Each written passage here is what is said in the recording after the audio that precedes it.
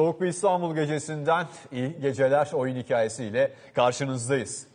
Ee, maç anlatırken futbolculardan daha çok ön plana çıktıkları oluyor. Ee, müsabakayı anlatırken kullandıkları bir ifade, bir sözle e, hem milyonların sevgilisi olabiliyorlar hem de aynı şekilde e, antipati e, toplayabiliyorlar. E, spor spikerlerinden e, bahsediyoruz. E, Türkiye'de spor spikerliği e, nedir? Nasıl başladı? E, en bilinen isimleri kimlerdir? Kimler yetişti? E, jenerasyonlar arasındaki e, farklar nelerdir? Bunları konuşacağız. E, üç değerli konumuz olacak. O üç değerli konuğumuz da e, kuşakları çok net bir şekilde en iyi anlatan isimler olduğunu düşünüyoruz. E, konuk planlamasını yaparken e, bunu düşünerek yapmıştık. Önce e, bu mesleğin duayenlerinden e, bizim büyüğümüz e, Melih Gümüşbıçak'ın e, Ustası. hocası, ustası e, sevgili Tansu Polatkan. Sayın Polatkan hoş geldiniz. Teşekkür ederim, hoş bulduk. İyi yayınlar diliyorum. Çok sağ Oradaki olun. arkadaşlarıma da hoş geldin diyorum. E, stüdyomuzda Melih Gümüşbıçak, spor spikeri ve e, yine stüdyomuzda olacaktı ama e, İstanbul'daki malum e, hava şartlarından dolayı kendisini stüdyoda değil de e, evden misafir ediyoruz. E, E-spor spikeri Gökhan Abdik. Gökhan sen de hoş geldin. Hoş bulduk. Ee, Herkese merhabalar. Ee, izleyicilerimize, Emin, sana, e, Tansu abi, Melih abi, üstadlar. e, Onlarla birlikte aynı yayında olmak benim için gerçekten heyecan verici. Ee, Orada olmak çok isterdim ama malum Emin dediğin gibi hava koşulları. Artık bir dahaki sefere umarım beni stüdyoda ağırlarsın. E, sen yeter ki e, gelmek istediğimize söyle. E, o programı e, güzel bir şekilde ayarlarız Gökhan. Teşekkür ederim. E, su küçüğün söz büyüğündür. E, en büyüğümüz. E, Herhalde. Üstadımız e, Tansu e, Polatkan'a e, bırakacağız sözü. E, ondan açılışı yapmasını isteyeceğiz. İlk olarak hani e, spikerlik nasıl başladı olarak sormayacağım da e, bir spikerin en önemli özelliği ne olmalı Sayın Polatkan? Öncelikle e, hatırlandığım ve buraya davet edildiğim için teşekkür ediyorum. E, genç arkadaşlarımla bir arada bulunmaktan e, mutluyum.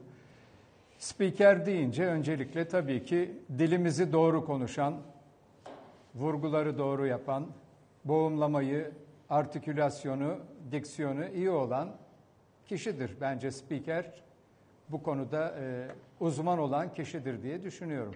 Tabii e, spor spikeri deyince de anlattığı spor dalının kurallarını ve de tekniğini iyi bilmesi gerekir diye düşünüyorum. İlk şartlar bu bence sevgili Emin Çağlar.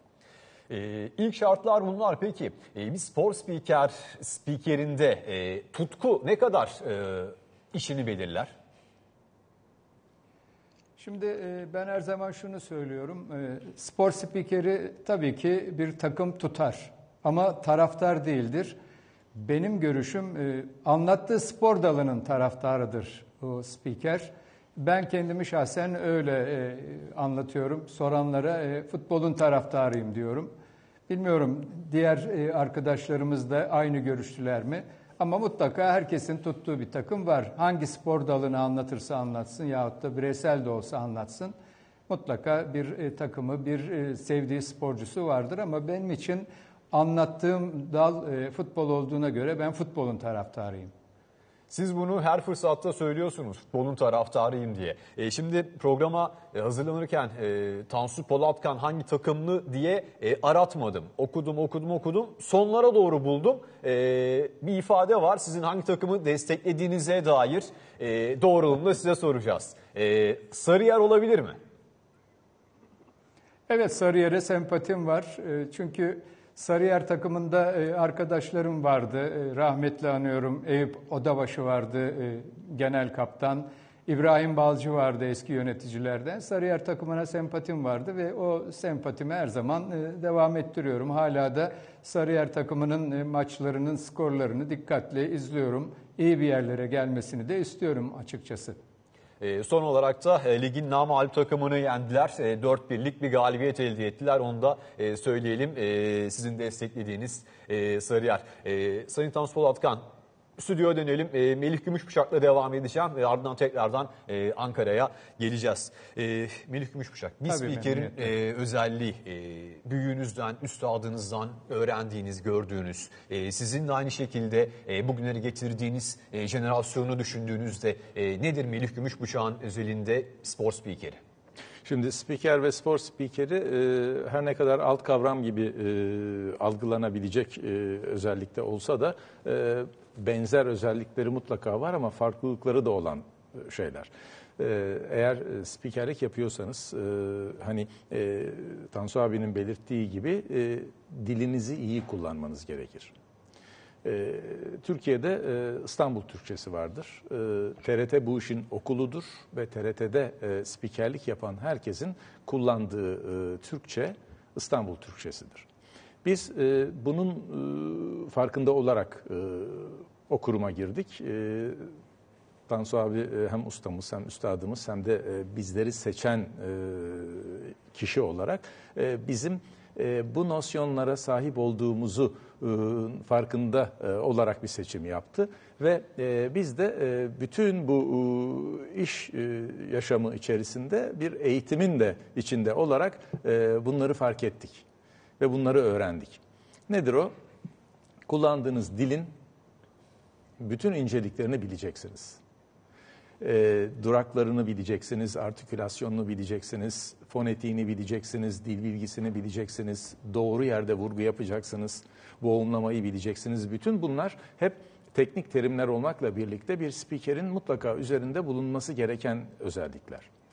Spor spikerinin ise e, doğaçlama bir e, müsabaka, branşı ne olursa olsun, bu tenis olabilir, futbol olabilir, basketbol olabilir, e, anlattığınız spor branşının kurallarını da çok iyi bilmek zorundasınız. O e, o branşın ruhunu da e, hissetmek. İşte siz tutku dediniz ya, tutkuyla o branşa bağlı olmak gerekecek. Yani hiç sevmediğiniz, hiç e, hani seyretmekten de yapmaktan da e, haz duymadığınız bir, bir, bir şeyi anlatmak çok zordur. Onun için mutlaka tutku düzeyinde bir bağlılık gerekir.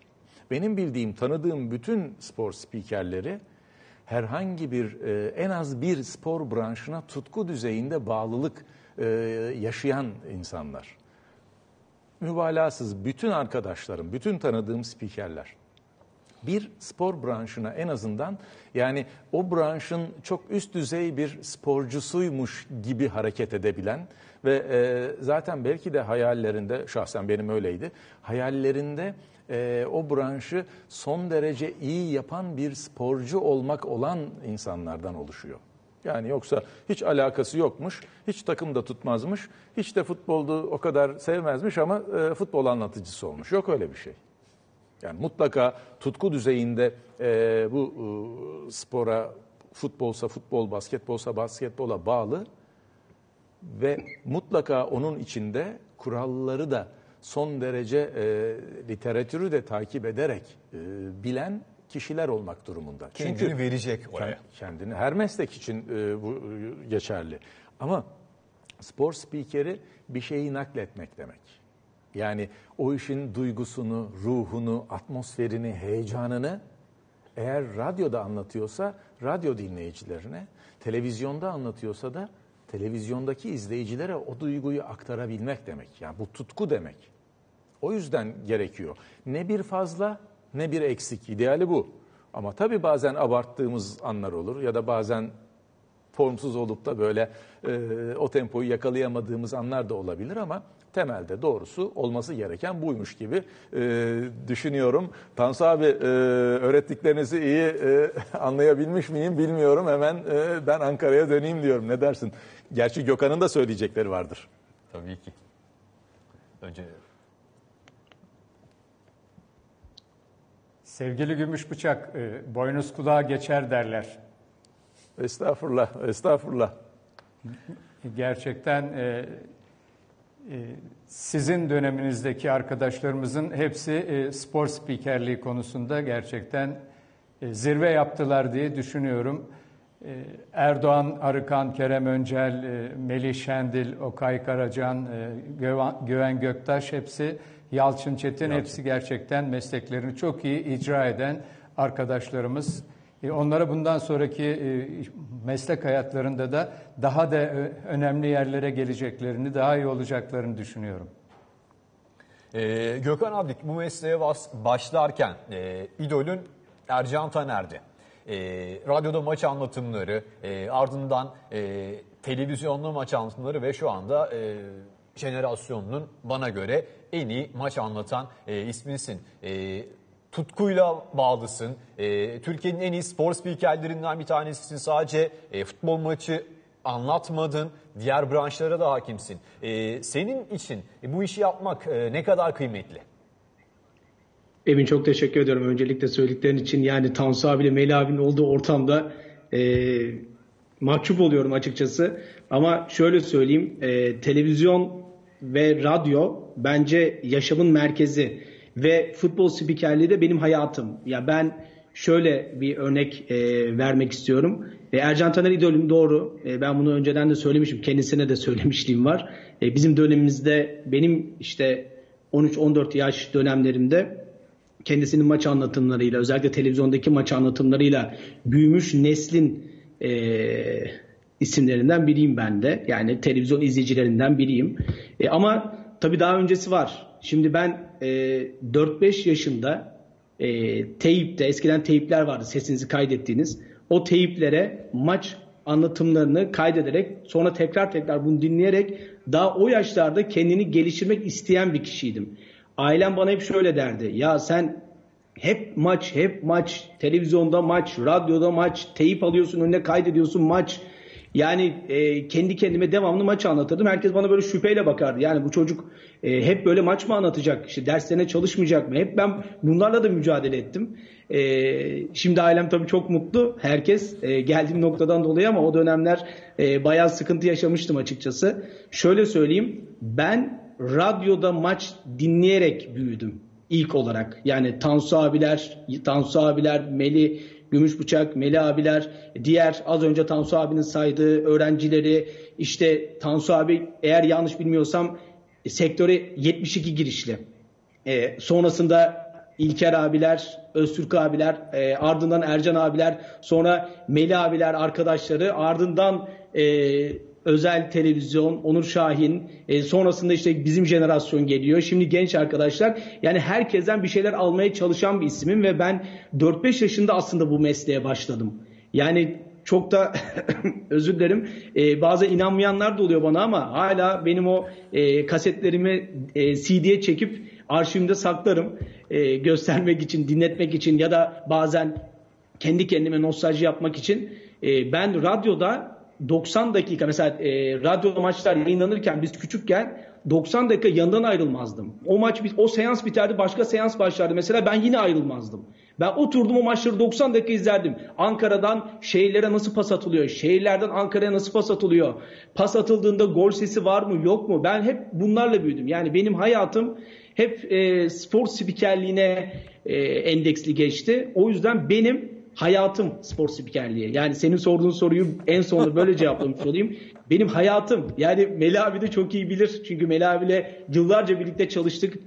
Deplasmanlara gittik. işte seyahatlere gittik. Neler yaşadık. Ne anılarımız var. Ee, gerçekten yani ben bununla büyüdüm. Bununla böyle yaşlanacağım. Ee, bu şekilde benim hayatım yani yaşamım maç spikerliği. 40 e, yılının 36 yılı maç spikeri olarak geçmiş Gökhan. O zaman böyle matematik yapalım. Gerçekten öyle. E, iki dakikanızı rica edeceğim. Şimdi e, bulabildiklerimiz var, e, bulamadıklarımız var. E, bir klip hazırladık. E, Türkiye'de o 70'lerden başlayıp günümüze gelene kadar Masbiyekerlerinin o e, artık hafızalara kazınmış e, replikleri en çok bilineninden biraz daha e, az bilinenlerini biraz daha magazinde kattık işine, işin içine. E, ama hepinizin sesleri var. E, onu izleyelim ardından devam edelim. Mustafa, Fenerbahçeli Mustafa'nın ortası. Bahtiyar gol pozisyonunda vuruyor ve gol, gol, evet gol. İnanılmaz bir şey. İnanılmaz bir 190 kilo. Hiç kimse uğraşmasın en büyük budur. Hiç kimse yetişmeye uğraşmasın.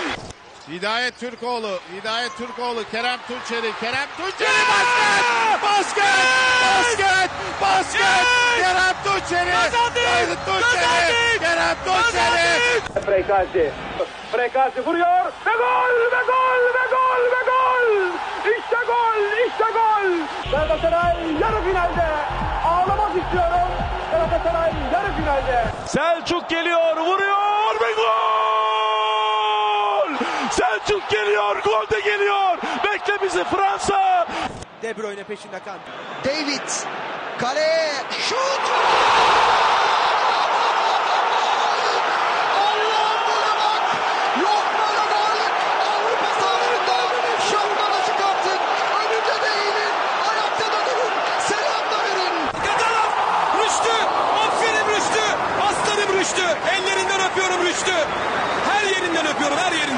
Hacı kaleye baktı. Bir çalım nefis bir hareket. Hacı, Hacı, Hacı, Hacı, Hacı. Serdar yanında Tümer var. Tümer'in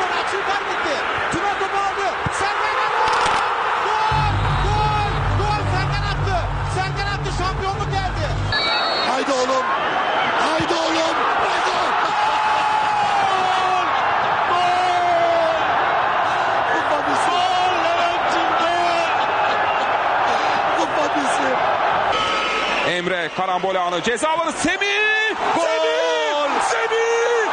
Semih! Semih! Semih! Semih! Yeni Gümüşbucak. Ee, benim bazı yerlerde e, gö- tüylerim diken diken oldu. E, gözlerim doldu. E, Halit Kıvanç, Ertan Yüce, Murat Muratanoğlu, İlker Yasin, Sis, Gökhan Abdik, Emre Tilef, Ertem Şener, Ercan Taner, e, Levent Özçelik ve e, orada e, Ömer Öründül de demek gerekiyor. Onlar e, müthiş bir ikiliydi çünkü o dönem. E, ve e, Yalçın Çetin'le e, beraber e, Tansu Polatkan. E, Tansu Bey e, bunu e, dinlediğinizde iki buçuk dakika e, herkesi e, gördünüz. En e, sizin için böyle e, unutulmaz, sizi e, biraz derinleştiren neydi? Hangi anlatım, hangi sizin için biraz daha farklıydı? Ee, sevgili Emin Çağlar, 1974 Dünya Kupası e, TRT'nin ilk naklen yayınladığı Dünya Kupası'ydı ve ben e, meslek hayatımda henüz bir yılımı doldurmadan e, çok değerli hocam Halit Kıvanç'la o zamanki adıyla Federal Almanya Hollanda arasındaki o milli maçın anlatımında görev yaptım. Benim için unutulmaz maç e, oydu. E, hem e, Halit Kıvanç gibi bir hoca ile birlikte maç anlatmak hem de dediğim gibi meslek hayatımda daha birinci yılımı doldurmadan böylesine büyük bir organizasyonda final anlatmak benim için çok büyük bir e, anıdır. Her zaman bunu her yerde de e, tekrarlarım. E, O zamanki yöneticilerimiz uygun görmüşler. E, Halit abinin yanına beni vermişlerdi. Gerçekten benim için çok anlamlı, çok değerlidir 1974 Dünya Kupası finalindeki görevim. E, Melih Gümüşbıçak. Selçuk, Türkiye, İzlanda e, matematik hesaplarının da artık e, çok fazlasıyla karıştığı bir noktada e, Türkiye'nin galibiyeti ardından da çorap söküğü gibi gelen e, o diğer e, denklemler Türkiye Fransa'daydı. Şimdi e, bütün bunların hepsi e, söylediklerin çok doğru ama e, Tansu abinin biraz önce söylediği gibi e, sizin hazırladığınız klipte de e, Almanya-Arjantin finalinde Tansu abinin sesini e, dinledik. E, ben 74'ten itibaren bütün o dünya kupalarının her bir maçını tek tek hatırlıyorum. Kendi anlattığım maçları hatırlamam. Çünkü bir sürü var. Ee, ama e, Tansu abilerin, e, Öztürk abilerin, e, Halit abilerin anlattığı o maçlarla büyüdüğüm için benim için de onların yeri ayrı. Ama senin sorunun amacına göre cevap verecek olursam bir spikerin anlattığı maç son derece önemli. Bir spiker şansı olmalı. Öyle bir maç olur ki çok önemli bir e, finaldir ama bir oyun oynanır. Dedim ya biraz önce ne bir eksik ne bir fazla e, o atmosferi, o duyguyu izleyiciye, dinleyiciye aktarmak gerekir. Yani mıy mıy mıy bir maç olur. Sen de mıy mıy mıy bir şekilde aktarmaya çalışırsın. Ama öyle bir maç olur ki hiç kimsenin beklemediği bir tempoda olur. Beklemediği şeyler olur. İşte o zaman sen de coşarsın, e, sen de unutmazsın, e, bambaşka olur. Bu söylediğin ve klipte yer alan e, hakikaten milyonda bir ihtimalin e, ortaya çıkabileceği e, bir durum söz konusuydu.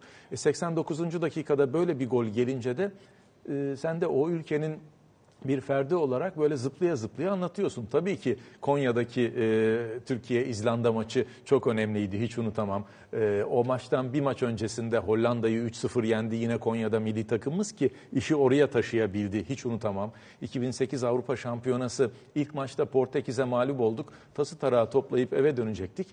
İkinci maç ev sahibi İsviçre ileydi. Bardaktan boşanırcasına bir yağmur vardı. Maçın başında e, 1-0'da yenik duruma düşmüştük. Ama vazgeçmedi milli takım. Onlar atınca bizim anlatmamız bambaşka oluyor tabii. İsviçre maçı. Ee, Arda'nın son dakika attığı golle. Rıdvan Dilmen'le kulakları çınlasın birlikteyiz. Yani e, ikimiz de birbirimize nasıl e, sarılmışız, nasıl e, anlatmışız. Bunları hiç unutamıyorsun. Yani bunlar özellikle e, bizim tabii mesleki açısından e, unutamadığımız maçlar ama aynı zamanda da bizim için büyük şans bunlar. Bizi biz yapan anlar bunlar çünkü. Bu söylediklerinin e, ya da şimdi benim anlatmaya çalıştıklarımın hiçbirisini ben de unutamıyorum. Ama e, hemen söyleyeyim Tansu abinin e, Halit abiyle birlikte anlattığı 74. 74 Dünya Kupası finalinde Hollanda 1-0 öne geçmesine rağmen sonradan iki tane e, Almanya atınca ben de ağlamıştım. Çünkü e, portakal renkli formamla Hollanda'yı destekler bir şekilde televizyonun karşısında maçı seyrediyordum. Tansu abi de bilir zaten e, çok kez konuşmuşuzdur. O yüzden e, kendi anlattığınız maçları değil de e, Dünya Kupaları finallerini tabii, tabii. E, daha Tansu fazla abinin, hatırlıyorsunuz. Tansu abinin anlattığı maçları ben belki ondan daha iyi hatırlarım.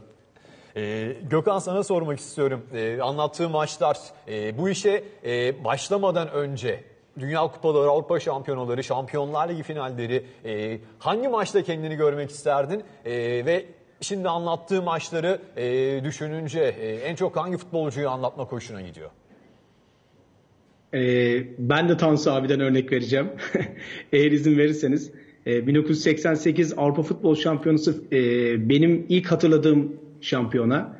E, orada Marco van Basten'in golü e, benim en unutamadığım anlardan biri. Benim e, küçüklük e, hayatımda, e, o dönemimde. E, o maç mesela bilmiyorum yanlış hatırlıyor olabilirim ama Tansu abiyle Ercan abi birlikte mi anlatıyorlardı yoksa Tansu abi tek mi anlatıyordu? E, o maç mesela o 88 Avrupa Şampiyonası yarı final finallerden sonra 90'la birlikte tüm organizasyonları hatırlıyorum ben de. Ama o benim aklımda hep yer etmiş. Sonra defalarca da zaten izlemiştim.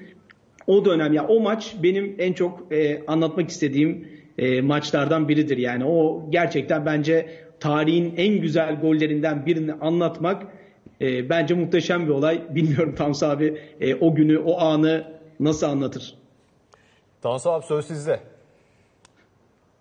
Evet gerçekten e, tarihi bir gol, e, unutulmaz bir gol ve de e, müthiş bir gol olarak onu anlatmak e, mümkün. Yani bir daha öyle bir gol herhalde yıllarca görmedik diye düşünüyorum. Van Basten'in attığı bu gol e, gerçekten bütün futbol severlerin e, ilgisini çeken, hafızasında yer eden müthiş bir e, goldü ve yıllarca unutulmazdı. E, benim için büyük bir şanstı o maçı anlatmak ve de o pozisyonu anlatmak gerçekten beni de heyecanlandıran, bana da büyük keyif veren e, bir goldü. Tabii futbol deyince e, sevgili Emin Çağlar izin verirsen biraz e, futbol anlattığımıza göre, futboldan söz ettiğimize göre Biraz da futboldan e, söz edelim istiyorum e, müsaitseniz. İzin, izin ne demek? İzin ne demek? Şimdi futbol e, ben soranlara şöyle tarif ediyorum. 17 kuralı olan top ve vücut tekniğiyle oynanan sistem ve prensipler oyunu olarak ifade ediyorum. Bilmiyorum oradaki arkadaşlarım buna katılırlar mı? Dolayısıyla bunları benimsedikten sonra tabii ki hem kuralları ana hatlarıyla bilmek, futbolun tekniğini, top tekniğini, vücut tekniğini bilmek ve de sistemleri, prensipleri bilmek gerekiyor. Bu bir futbol anlatan spiker için çok gerekli olan unsurlardır diye düşünüyorum. Melih Müşçak, e, Tansu abinin e, futbol anlatanlarla ilgili e, tanım bu şekilde. E, Tansu abiye katılmamak mümkün değil. Futbolu tarif etmek e, gerekir zaten bir anlatıcının neyi anlattığını e, tarif edebilmek için. E, ben şahsen katılıyorum e, Tansu abinin futbolu tarifine e, ama bir eklemede bulunmak istiyorum. E, futbol basit bir oyundur. E, zor olan onu basit oynamaktır demiş Johan Cruyff. Futbol üstadlarından bir tanesi. E, hakikaten e, her şeyin basiti benimseniyor ve başarıya gidiyor. Mümkün olan en basit şekilde bir şeyi yaptığınız zaman e, başarının da e, o şekilde geldiğini görüyorsunuz. Bu futbol anlatmak için de geçerli, futbol oynamak için de geçerli. E, Tansu abi de sahanın içinden gelen bir anlatıcı. Tansu abi e, birçok insan belki bilmez ama e, sahada profesyonel kalecilik en geride olup e, bütün takımı en iyi gören e, yerden ve bütün takımı yönetebilecek bir yerden geldiği için e, bizim içimizde de mesela yöneticimizdi, büyüğümüzdü, hocamızdı, ustamızdı ve bizi her hafta anlattığımız çil yavrusu gibi dağılırdık. Biraz önce bahsettiği o isimler işte kimimiz Samsun'a, kimimiz Kayseri'ye, kimimiz Malatya'ya, kimimiz Konya'ya, kimimiz İstanbul'a böyle dağılırdık her birimiz görevlerimizde e, elimizden geldiği kadar e, çaba harcar. Maçlarımızı bitirdikten sonra da dönerdik. Dönerdik ve Tansu abi e, hepimiz e, şeye döndükten sonra e, ne derler e, şirkete döndükten sonra TRT'ye Merkeze. döndükten sonra merkezde pazartesi günü herkesle birlikte toplantı yapardı. Bir e, iş içi eğitim toplantısı diyebilirdik. Hepimizin kullandığı terimlerden e, tariflerimizden. Mesela şimdi e, Tansu abi bize ezberlettiği bazı şeyler vardı. Neydi Maç bunlar? anlatımı ile ilgili mi? Tabii tabii ifade. Şimdi hepimiz belli kuralları biliyoruz ama bazen yanlış bir takım şeyler aklımızda kalmış olabiliyor. Futbolda iki türlü e, topu oyuna sokma ya da iki türlü hamle vardır. Birisi vuruş, birisi atış. Elle yapılanlar atış, ayakla yapılanlar vuruştur diye öğretti bize. Çünkü hakikaten öyle yani e, taç bir atıştır. Ama serbest vuruş bir vuruştur. Penaltı bir vuruştur. Penaltı atış değildir. Elle yapılmaz. Bunları öğretti. Bunlara dikkat etmemizi sağladı. Geliyorduk biz kale atışı, penaltı atışı diye anlattıysak o hafta Melih'cim ne dedin bir daha bak bakalım diye notları yazardı, önümüze koyardı. Biz de bakardık şöyle bir, abi haklısın pardon kusura bakma derdik. Bir daha yapmayacağız derdik. Mesela bunlar. İşte ne oldu? Topu havalandırdı. Ne yaptı? Camları açıp da topu mu havalandırdı? Topu nasıl havalandırdı? Hakem, işte hakemin çalan düdüğü. Düdük kendi kendine çalar mı? Birisinin onu çalması lazım. Bütün bunlar hakikaten Türkçeyi de doğru kullanmanın gerekleriydi. Ama biz e, bazen aceleyle, bazen anlatırken bu ifadeleri, bu yanlış ifadeleri sık sık kullanıyoruz. Hatta hala da kullanıyoruz bazen. Ama işte eskiden öyle bir disiplin, öyle bir şans vardı. Bizim şansımız buydu. Belki de onun için e, hepimiz bir yerde bugün e, istediğimiz pozisyonlarda yer alıyoruz. Çünkü böyle bir eğitimden, meslek içi eğitimden geçtik. Bu bizim şansımızdı. E şimdi şansa ikinci kez vurgu yaptınız. O zaman e, Gökhan'a soracağım tekrardan buraya döneceğim. E, Gökhan abi e, spor spikeri için e, spiker şansı derler. E, inanır mısın? İnanıyor musun? Kesinlikle. Yani bence hakem şansı e, kadar. tüm mesleği yapanlar öyle düşünüyordur yani spiker şans çok çok önemli. Ama tabii bazen şansı kendiniz yaratırsınız. Yani bazen e, öyle şeyler e, yaşarsınız ki bazen de şansı kendiniz yaratırsınız. Benim mesela e, başıma geldi. Ya sadece maçın kaliteli olmasıyla e, maçın böyle dört dörtlük bir maç olması, gel gitler işte goller, e, pozisyonlar ondan değil de bazen de böyle e, maç içinde de öyle şeyler söylersiniz ki e, maçın akışına hamle yaparsınız. E, izleyicilerden şöyle e, geri dönüşler geliyor bazen. Ya sen maçı önceden izledin mi tarzında. Bu hepimizin başına geliyordur. E, böyle sık sık maç anlatınca da e, bu böyle birkaç kez özellikle son dönemde de benim başıma geldi mesela son bir Tottenham Leicester maçı anlattım. Leicester Tottenham maçı. E, dedim ki maçı anlatırken Barnes zamanı gelmedi mi dedim. Yani Harvey Barnes var Leicester City'de yedek oyuncuyu. Yedek kulübesindeydi. Ya hadi dedim yani artık Barnes'ın girmesi lazım. Tabii Premier Lig anlatıyoruz. Biraz daha rahat anlatıyoruz maçları. Barnes girdi asist yaptı. Sonra Bergwijn artık girmeli galiba dedim. Bergwijn girdi. E, iki gol attı. Tottenham maçı kazandı. E, geçen iki sene önce Cenk Tosun e, Crystal Palace'da oynuyordu. Manchester City Crystal Palace maçı e, köşe vuruşu kullanılıyordu. Dedim ki Crystal Palace dedim kornerlerden hiç gol bulmadı ama bu Cenk Tosun öncesi istatistik dedim. Korner kullandı Cenk attı golü. E, bazen böyle şeyler başımıza geliyor. Tabii tersi de oluyor bu arada. Tersi de olup işte e, neler yaşadığımız oluyor işte. Ya Frikik çok iyi kullanır diyoruz ama çok enteresan vuruşlar geliyor. Ama e, spiker şansı önemli. Maç anlamında spiker şansı bu az önce söylediklerimden çok daha önemli. Yani 0-0 biten maçı anlatmak e, çok mutlu etmez spikeri. Ama öyle 0-0 maçlar vardır ki dersin ki ya maç 3-3 bitseydi bundan daha güzel olamazdı dersin.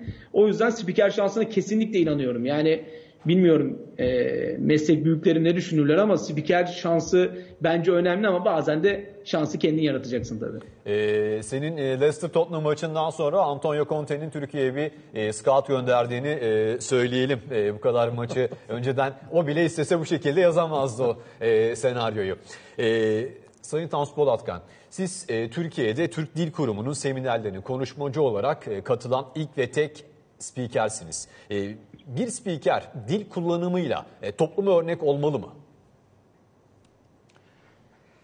E, gayet tabii bu soru soru çok güzel bir soru. Tabii ki bugün e, bir futbol maçının seyircisi çok. Hem e, televizyon başında olsun hem e, radyonun başında olsun e, maçlar e, çok dikkatle izleniyor, dinleniyor ve tabii ki buradaki dilin kullanılması hem e, dilimiz açısından hem de spor dili açısından çok önemli. Bazı işte basit e, kullanımlar var. Mesela az önce e, Melih Gümüşbıçak çok güzel söz etti. İşte kalkan bayrak, e, çalan düdük gibi. Türkçe'de bir etken, edilgen diye bir unsur vardır. Yani bayrak kendi kendine kalkmaz, düdük kendi kendine çalmaz. Onları çalan bir e, hakem, e, bayrağı kaldıran bir e, yardımcı hakem var. Bunları çok iyi değerlendirmek lazım. Mesela e, zaman zaman e, şöyle e, kulağıma gelen maç anlatımlarında dinlerken kulağıma gelen ifadeler var. Mesela top oyun alanını terk etti. E, top oyun alanını nasıl terk eder? Top canlı değil ki, iradesi yok ki. Topa vurursanız gider. Mesela kale direğe gole izin vermiyor. E, kale direğe canlı mı izin vermesin? Yani o top kale direğine çarptı demek başka, kale direğinin izin vermemesi başka. Tabii ki toplumda bunların e, dinleyicilerine yanlış ifadesi, yanlış bir şekilde ulaşması dilimizin biraz da dejenere olmasına neden oluyor diye düşünüyorum sevgili Emin Çağlar. Ee, o zaman yine size soracağım e, Sayın Tansu Polatkan. TRT ekolünün e, bittiğini düşünüyor musunuz ya da TRT, TRT ekolü e, neden devam etmedi?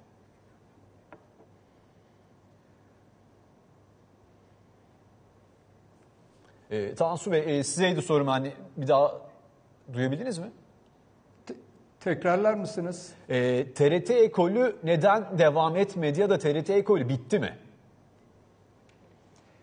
E, TRT ekolü bitmez. E, TRT ekolü devam eder. E, ancak tabii ki belki e, hem e, benim spiker olduğum dönemdeki e, hocalarımız e, hem de Melihlerin kuşağında benim onların başında bulunmam bir şanstı ama bugün e, öyle bir e, fırsatı olmuyor TRT'deki arkadaşlarım. Çünkü çok yoğun bir tempo içinde çalışıyorlar.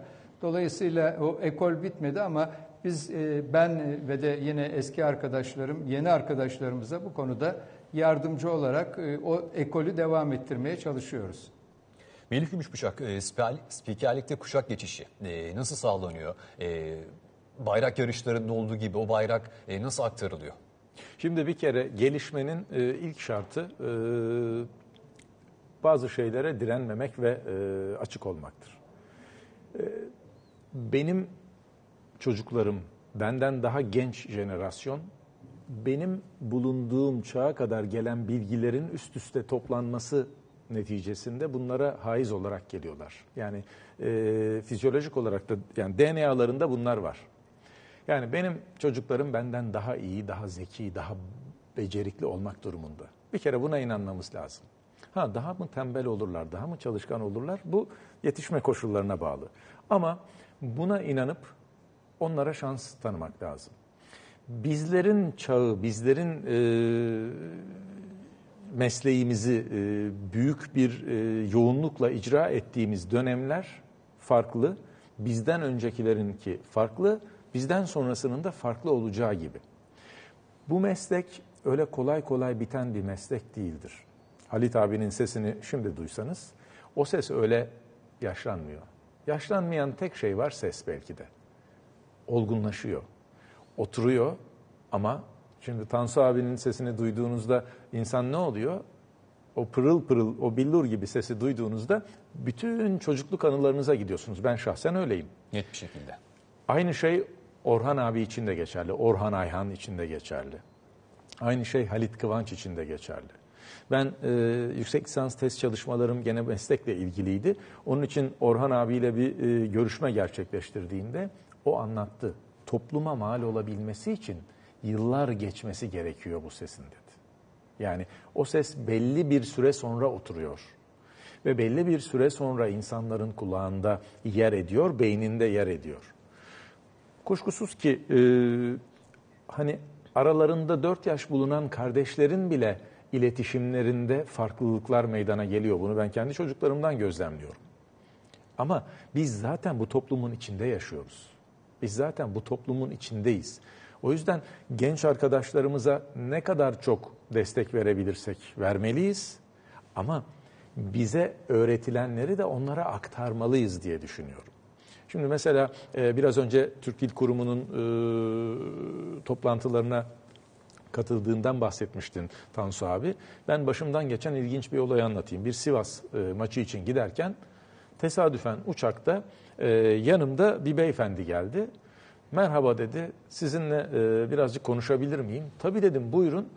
Profesör Doktor Recep Toparlı. Eğer bizi izliyorsa buradan çok selamlarımı, saygılarımı iletiyorum.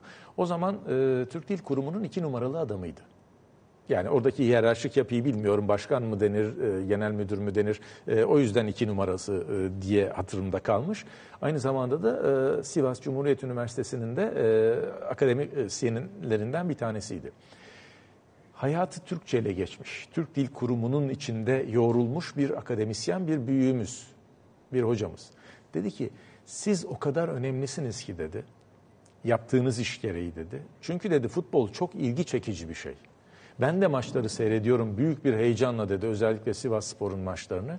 Sizin söyledikleriniz, kalıplarınız, sizin Türkçeleştirdiğiniz. İyi ki dedi free kick demiyorsunuz, iyi ki dedi korner demiyorsunuz. Siz serbest vuruş, siz kale vuruşu, siz e, köşe vuruşu dedikçe dedi bu toplumda yer buluyor, oturuyor ve bu e, bu kelime dağarcığımıza yerleşiyor. O yüzden dedi sizin söyledikleriniz çok önemli.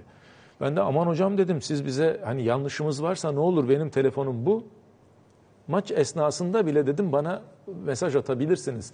Eğer yanlış bir kullanımım olursa ve hakikaten yıllar boyunca Sayın Hocam Recep Toparlı bana bazen mesaj Melih'cim o Cenk'e değildir dedi. Cenk o sert ünsüz e takısı alırsa e, şey yapar şöyle olur cenge olur dedi. Ondan sonra e, işte buna benzer bazı e, kullanım yanlışlarımıza ilişkin şey. Bütün bunları biz zaten yaşayarak öğrenmek durumundayız. Doğru Türkçenin peşinde koşan bir isimmiş. Onun da çabasını tabii, veren tabii. bir isimmiş. Ya ama bizim de buna açık olmamız lazım ve e, genç kardeşlerimin, genç arkadaşlarımın da bunları biraz daha dikkat etmeleri lazım. Yoksa dil değişiyor. Şimdi sokağa çıksanız tabelalara baksanız zaten dilimizin nereye gittiğinin farkına varırsınız. Ama bizim görevimiz, bizlerin görevi sadece maç anlatmak ya da maçın e, tansiyonunu, e, duygusunu izleyiciye yansıtmak değil aynı zamanda kendi dilimizin özelliklerini de e, izleyicilerimize hatırlatmak belki. E, bir reklam arası rica edeceğiz. Reklamların arasın, e, reklamların ardından e, o en çok merak edilen maç sırasında e, tempo nasıl ayarlanıyor? Bilgi akışı, e, bilgi paylaşımı e, nasıl oluyor? E, bunu da konuşacağız.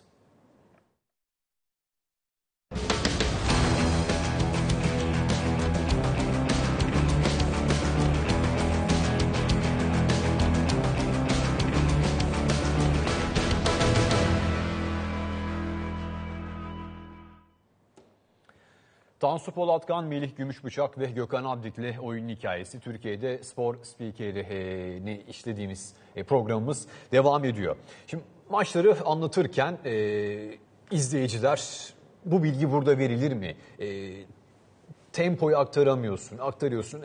Çeşitli görüşler var.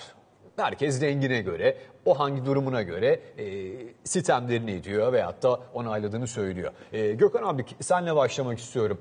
E, tempo ayarlama, e, vurguları yapma, heyecanı aktarma, bir taraftan da bilgileri paylaşma. E, şimdi e, bu bir e, makine değilsiniz e, kurulmuş bir saat değilsiniz. Orada e, yeteneğiniz e, ortaya çıkıyor. Onları anlatıyorsunuz. E, bu e, bilgi akışı, bu tempo, maç sırasındaki heyecan bunlar nasıl sağlanıyor? E, nerede ne yapacağınızı, hangi dakikada e, ne söyleyeceğinizi e, maçın gidişatına göre e, nasıl kestirebiliyorsunuz?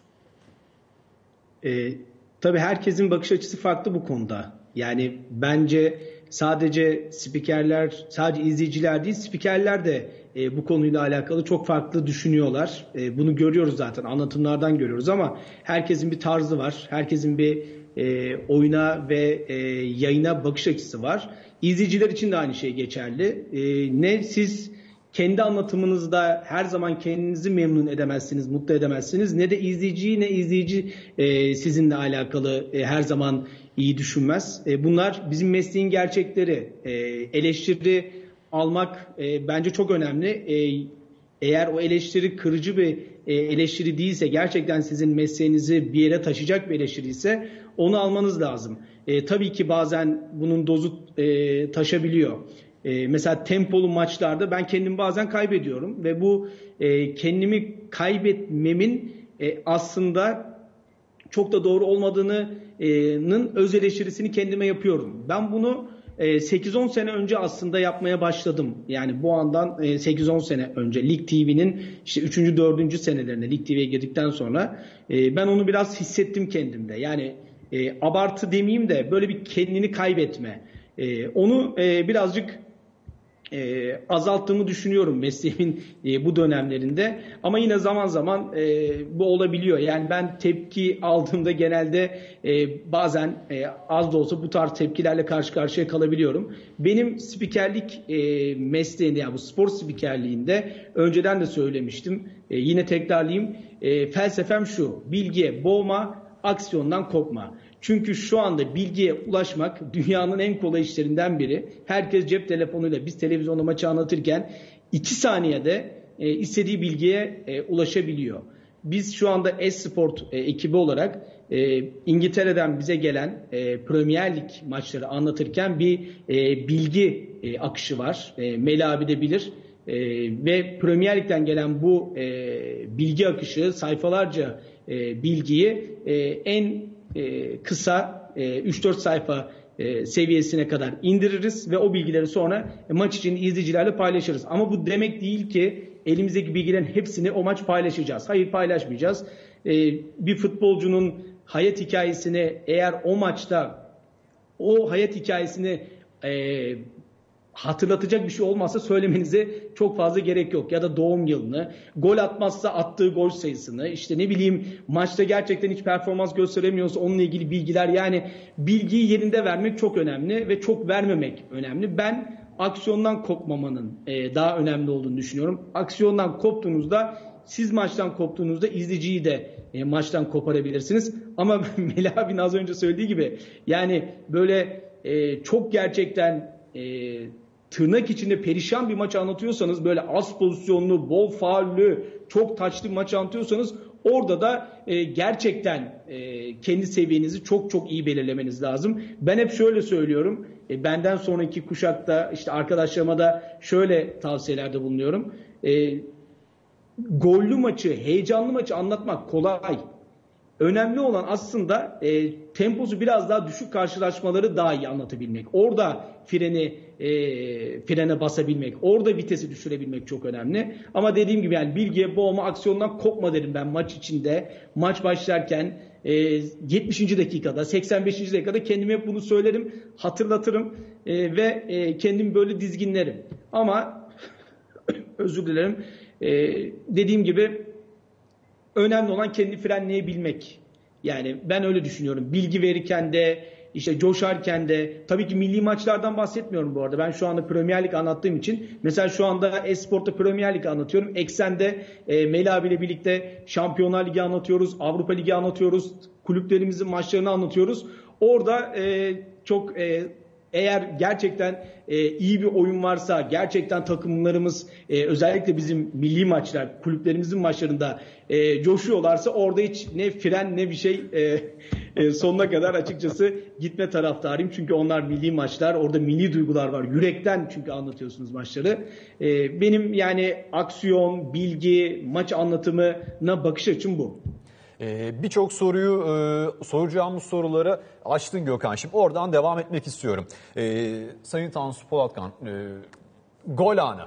E, gol anına spiker önceden hazırlanır mı? E, şut ve gol, orta ve gol e, ya da o sırada e, isim e, üzerinden o golü anlatma. E, Makine diye izlemiştim. E, iki kere iki meselesi e, değil bu. Bir e, yaratıcılık. Kişinin kendini o planda, e, o anda doğru sözlerle ifade edebilmesi, e, izleyenleri kendine çekebilmesi. E, gol anlarını anlatmak için önceden e, çalışır mı bir spiker? isim ya da o aksiyon üzerinden?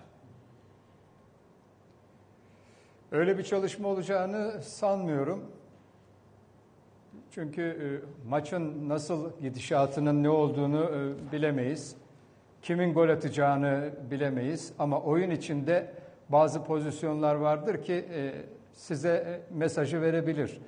E, mesela bir e, serbest vuruşta baraj yapılır.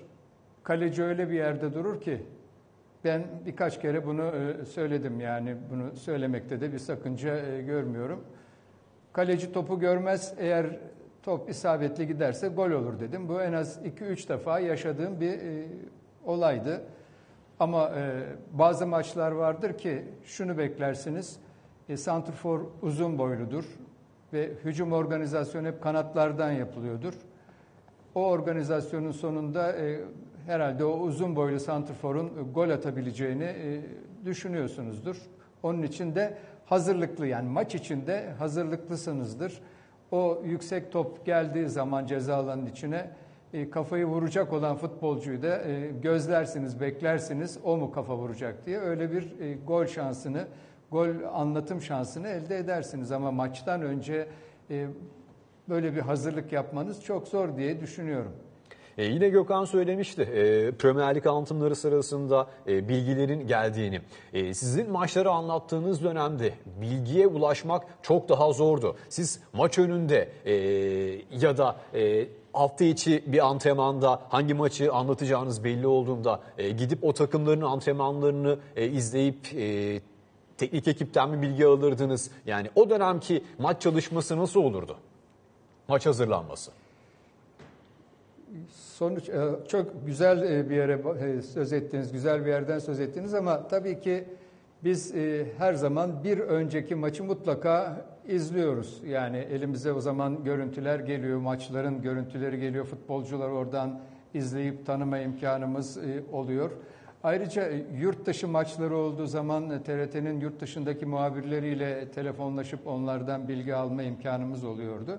Tabii maç içindeki bilgileri de yine e, futbolcuların geçmişleriyle ilgili araştırmalardan bulabiliyoruz. Mesela e, şöyle e, bir bilgiyi e, verebiliyoruz. E, 1.70 boyundaki bir futbolcu ki o uzun boylu savunma oyuncularının arasından yükselip kafa vuruşuyla gol atmıştır. İşte onun e, boyunun 1.70 olduğunu ve zamanlamasının doğru olduğunu söyleyerek öyle bir bilgi verilebilir. İşte nereden, hangi takımdan geldiğini, daha önce de böyle goller atıp atmadığını onu araştırıp bulmak yine de e, bugünkü kadar kolay olmasa da o imkanlarımız vardı.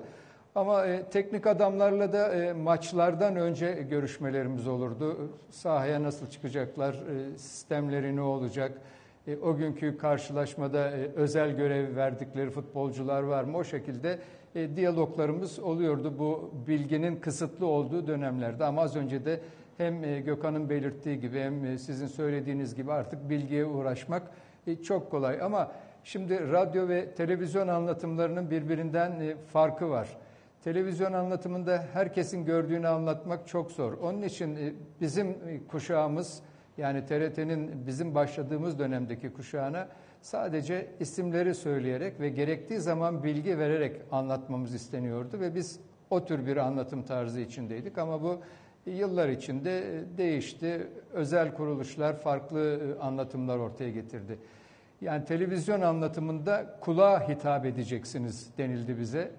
Radyo anlatımında da göze hitap edeceksiniz dedi. Yani dinleyen, radyoyu dinleyen e, futbol sever, futbol topunun nerede oynandığını, sahanın neresinde olduğunu en azından gözünün önüne getirebilecek şekilde bir anlatım beklendi bizden ve biz e, radyo anlatımlarında özellikle buna dikkat ettik.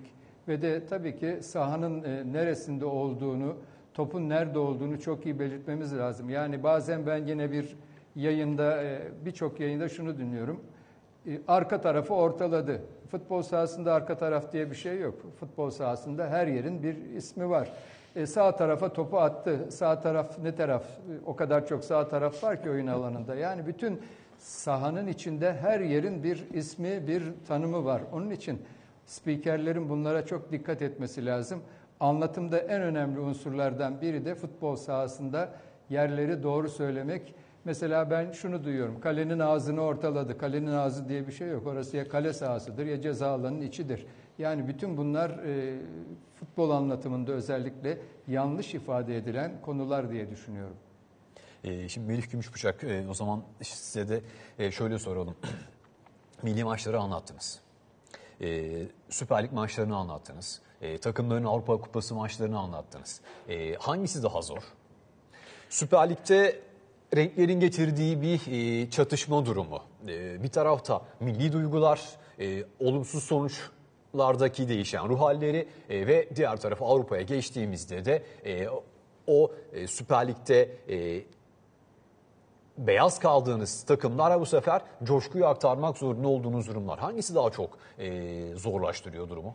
Ee, kişiden kişiye belki değişir ama benim açımdan e, en zor e, durum e, Süper Lig'de tamamen tarafsız olduğunuz, olmak zorunda kaldığınız ve e, bıçak sırtı e, bir alanda iş yapmak durumunda kaldığınız maçlar. Yani e, A takımına da B takımına da eşit mesafede davranmak durumundasınız. Ama bu e, izleyicinin algısının ne olduğunu bilemezsiniz. Ben söylediklerimden sorumluyum ama karşımdakinin ne anladığından sorumlu değilim. Aynı cümleler için şikayet telefonları aldığımız e, çok vaka vardır. Hem Tansu abi bilir hem de Gökhan bilir. O nedenle e, yani tarafsız e, anlatım yapmak durumunda olduğunuz maçlar daha zordur. Ama milli maçlar ya da Avrupa kupalarındaki maçlar, hele hele milli statüdeki maçlar dünyanın en rahat maçları. Gökhan'ın biraz önce söylediği gibi orada bırakıp bütün duyguları zaten kendi ülkeme kendi takımımın e, bir yabancı takımla maçını anlatıyorum. Orada çok rahatsınız. Hani e, amiyane bir tabir vardır. Eyyam. İstediğiniz kadar eyyam yapabilirsiniz. Ama tarafsız olmak zorunda olduğu, olduğunuz lig maçlarında bunu yapmanız çok yanlış algılara sebep olabileceği için daha zordur. Bilgi konusunda da ben Tansu abinin bize verdiği örneklerden yola çıkarak bir şey hatırlatmak istiyorum. Hakikaten eğer siz çalışmazsanız ve o çalışma şimdi belki bizim bilgiye ulaşabilecek çok fazla kanalımız var artık. Ve e, elimizdeki bu sihirli aletlerle o bilgilere ulaşabiliyoruz ama şunu unutmamak lazım. Bir maç anlatıcısının, bir spor spikerinin herhangi bir branşı anlatırken hele futbol, basketbol gibi çok çabuk e, değişen e, olayları anlatırken iki saniyeden, üç saniyeden fazla sahadan gözünü ayırması mümkün değildir. Yani öyle ben Aa, açayım bilgisayarımı da bakayım şu oyuncu kaç gol atmış bilmem ne yapmış. Bunlara bakma şansınız yoktur. O yüzden oradaki bilgileri buraya geçirmek zorundasınız. Burada olmadı mı o bilginin bir kıymeti yoktur. Elinizde sayfalarca bilgi vardır ama o sayfalarda neyin nerede olduğunu bilmezseniz ve pundunda eğer o bilgileri vermezseniz gerektiği zaman ne güzel söyledi. Bir örnek vereyim herkesin aklında kalması açısından. Eskişehir-Trabzonspor maçı. Bundan 8 sezon, 10 sezon, 15 sezon önce. Bir tarafta Alanzinho, bir tarafta Vanya Iveşa. Birinin boyu 1.57, birinin boyu 2.05. Maç başlar başlamaz. sahanın en uzun boylu oyuncusu Vanya Iveşa demenizin kimseye en ufak bir katkısı olmaz. Size de olmaz.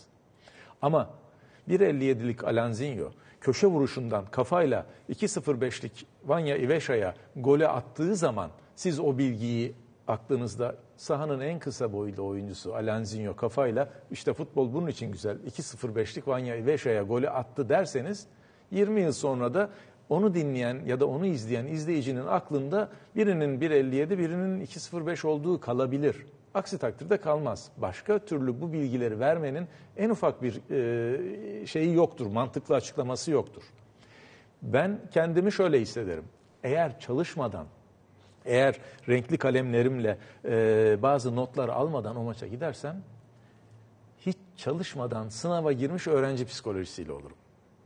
Belki yine bildiğim yerlerden gelir soru. Belki yine yapabilirim. Belki yine geçecek kadar not alabilirim ama o huzursuzluk içimde hep olur. O yüzden o huzursuzluğu yaşamamak için hep belli noktalara çalışmayı, belli bir ah tamam ben çalıştım artık. Nereden gelirse gelsin diye o sınava girmeyi ben alışkanlık edinmeye çalışıyorum. Ee, olay bence de bu. E şimdi e, o isim dediğiniz için aklıma geldi. E, son dönemde anlattığınız bir maçta siz e, Muslera'ya Mondragon dediniz. Evet, evet. E, Euro 2020'de e, Levent Özçelik e, Chiesa'ya e, Inzaghi. Inzaghi dedi. Şimdi maç sırasında bunlar e, normal mi? Normal olmayan nedir? Spikerin bunu söylemesi mi yoksa o tepkinin çok net bir şekilde nefret boyutuna dönüşmesi mi? Maç anlatırken isim e, yanlışlığı e, niye bu hale geliyor? Bunun e, altında başka bir şey yatıyor herhalde. Yani Vallahi, Ahmet'e Mehmet demek olabilir. Vallahi, o sırada e, dil suçması dediğimiz bir olay var. Kolay değil ama bunu nasıl biz nefret boyutuna getiriyoruz artık? Şimdi o kadar çok e, olabiliyor ki bu. Bunların birçoğu fark edilmeyebilir. Bazıları fark edilebilir. Ben yine bir maçtan örnek göstereyim. Ee, bir e, radyo müsabakası e, hafta sonu gündüz müsabakalarında e, ortak yayın olurdu. Bir maç gece maçı olurdu. O gece maçında da bir kişi 90 dakika radyodan anlatırdı. Ben yine Tansu abi görev yazmış. E, Gaziantep Beşik, e, Beşiktaş Gaziantep spor maçını İnönü'den anlatacağım. Rahmetli Özden abi de e, teknisyen olarak radyodan, İstanbul Radyosu'ndan gelmiş. O da Beşiktaşlı bir e, abimizdi. E, maçı anlatıyorum. İlk yarı boyunca e, tabii hiç e, merkeze de dönmediğimiz için sürekli Özden abi kadronun üzerinde parmağıyla bir şey gösteriyor. Anlamıyorum ne, ne var abi falan diyemiyorum tabii. Bir taraftan da anlatıyorsun. Devre oldu. Ya Özden abi bir şey işaret ediyorsun ama anlamadım ne oldu dedim. Ya Melih dedi. İlk yarı boyunca dedi Rıza'ya Recep dedin dedi. E Recep'e ne dedim dedim. Ona da Recep dedin dedi. Allah Allah dedim. İnsanın beyni bazen böyle oyunlar oynuyor demek. Hiç farkında değilim. Ve bunu bilmiyorum. Yani fark etmemişim. Özden abi söyleyince ikinci yarı bitti. Abi dedim düzelttin mi dedi. Düzelttim düzelttim bir şey yok dedi. Bunun bazen farkında oluyoruz, bazen olmuyoruz. Tabii ki maddi hata yapmamak bu işin en önemli e, özelliklerinden bir tanesi. Ama 90 dakika boyunca atıyorum işte bilmem kaç yüz kelimeyle anlatmaya çalıştığınız bir işte bunlar olacaktır. Bunlar bunlardan kaçış yok.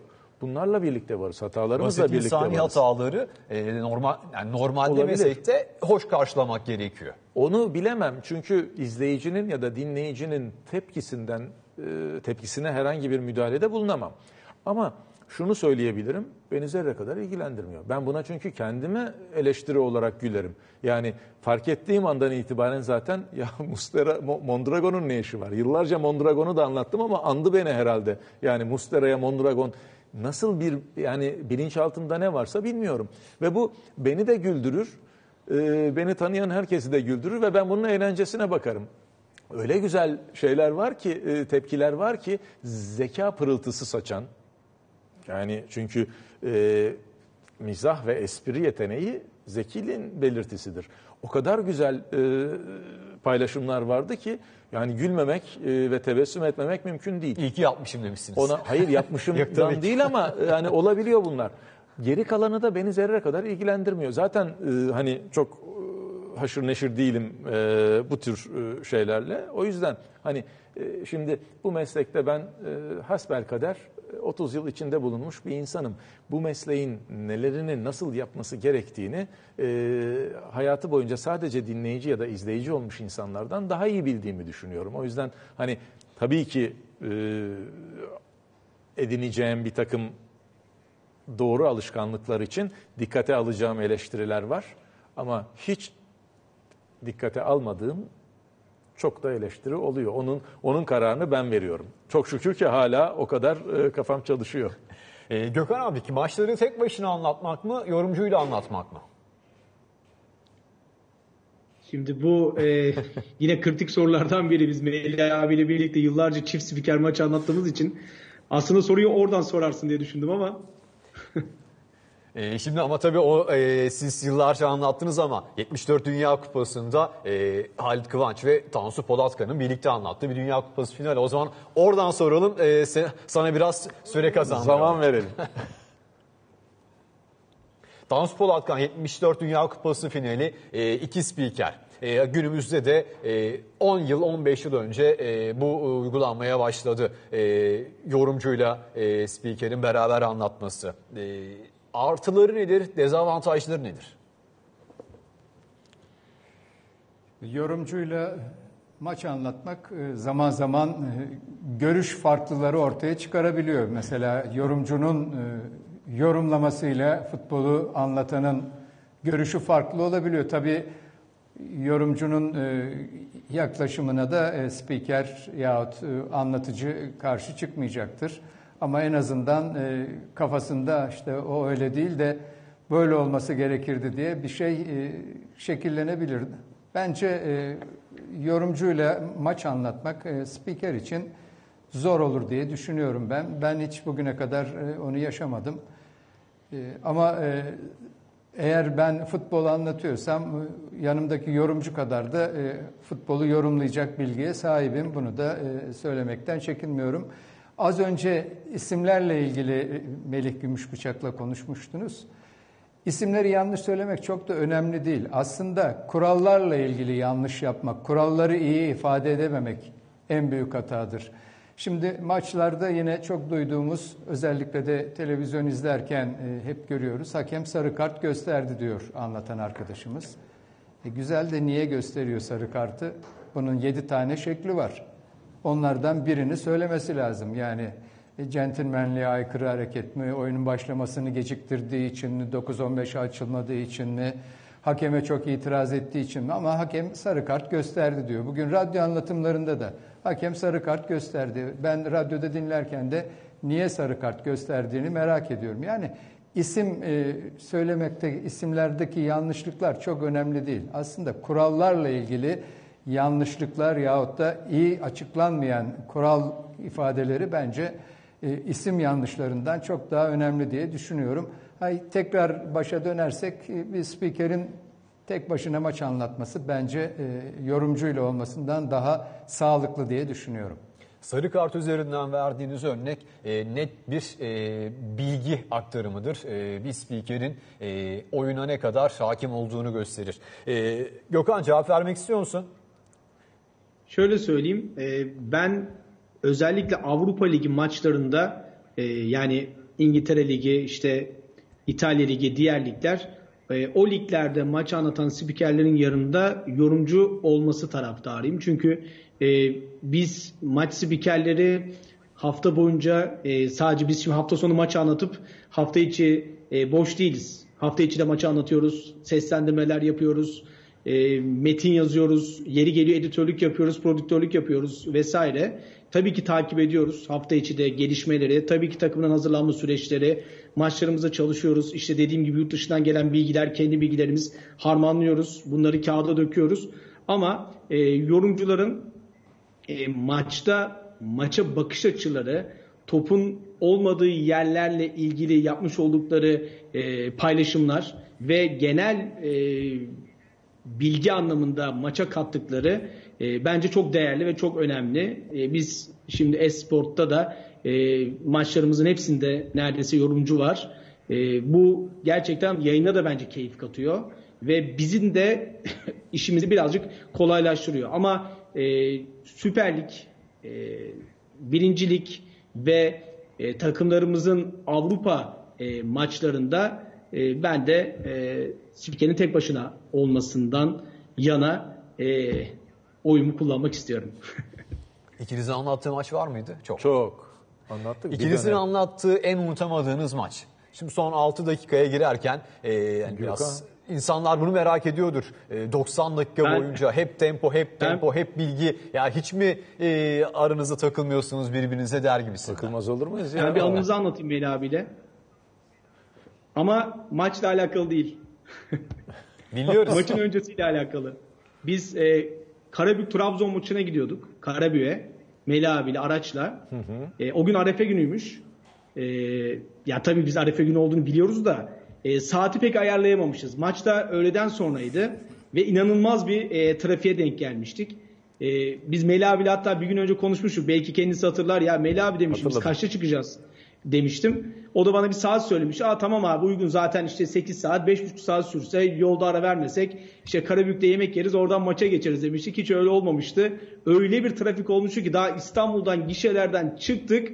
Karabük'e kadar hatta Melih abiyle elimizden işte haritalardan e, arabayı süren abiye yardımcı oluyorduk. Şuradan gidelim buradan gidelim. 20 dakika kala e, stada gitmiştik ve o gün stat'tan yayın yapılmamıştı. Biz maç önü yayınları yapıyorduk biliyorsunuz.